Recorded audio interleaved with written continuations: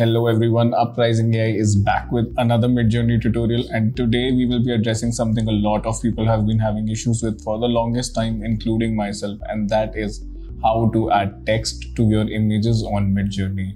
This was something that was considered to be impossible before but now using the newly introduced feature on Midjourney called Vary Region or In Painting, this is finally a possibility.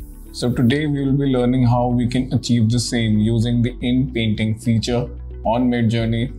Mind you, this is not something which is very convenient, rather, it's a very tedious and long process. I would much rather suggest that you just make an image, take it to Photoshop, and do a little bit of this and that. But for those people who do not know how to use these tools such as Photoshop, Canva, etc., this is a good option. But then again, as I've always been saying, anything and everything we do on Midjourney needs to be taken with a pinch of salt. So without further ado, let's see how we can add text to our Midjourney images. So the first thing you need to do is tell Midjourney where you want this text to be and what do you want this text to be. We all know that Midjourney cannot yet generate text on images, but even then, Midjourney has an idea of the kind of text you want it to put on the certain image. So it ends up giving you at least an idea of where you can put this text. So in my case, I told Midjourney that I wanted the text Uprising AI written on a huge billboard on the Times Square. And as you can see, it has already generated four amazing images, out of which I really like the second one. The placement of the word uprising, the suggested word uprising is perfect. So from here on out, we will now be seeing how we can use the in painting tool on Midjourney to add further letters to this desired word that we want, which is uprising AI in this case. So now using the lasso tool, we will be making a selection towards the right side of the letter U where we want our next letter to be. And this is how I word my prompt. Let's just simply say the letter P.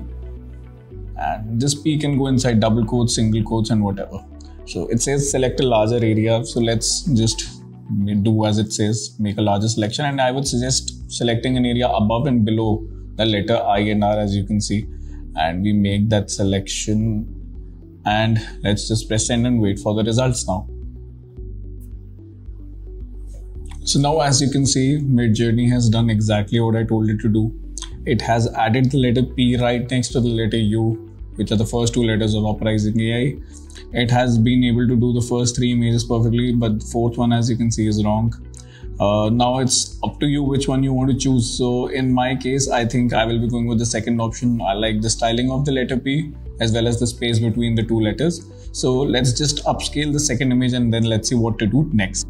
Now we will repeat the same process that we did in the first place. We will go to Vary region and select an area towards the right side of the second letter P. So let's just make sure that we've selected the area properly. I think I've missed a little bit so I'll just make sure that I've selected it properly and now that we're done the letter R and we press send and let's just see if it's able to do the same again. So as you can see, Midjourney has been able to do the task at hand pretty well. It has given me three R's.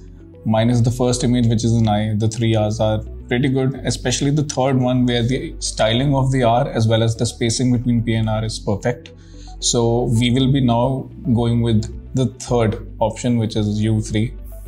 And one piece of suggestion that I have for everyone is do this process while having relax mode on because this has the ability to take away a lot of your fast hours, your precious fast hours. So I'm going to switch to relax mode because it can take a lot of tries. So far, we have been very lucky that on the first try itself with the letter P and the letter R, we got the desired results.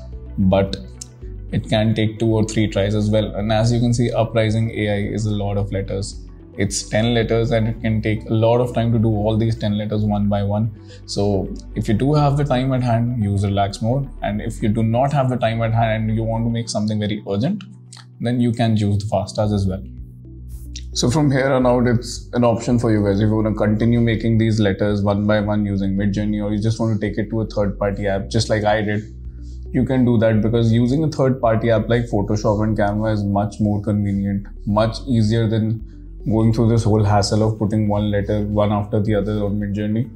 I would suggest doing this if you're trying to put a very small word onto your image because the more the letters you have, the more tedious it gets. With that, we come to the end of this tutorial on how to use the in-painting feature to add text to your images on Midjourney. If there's anything else we can do for you, please let us know in the comments below and stay tuned.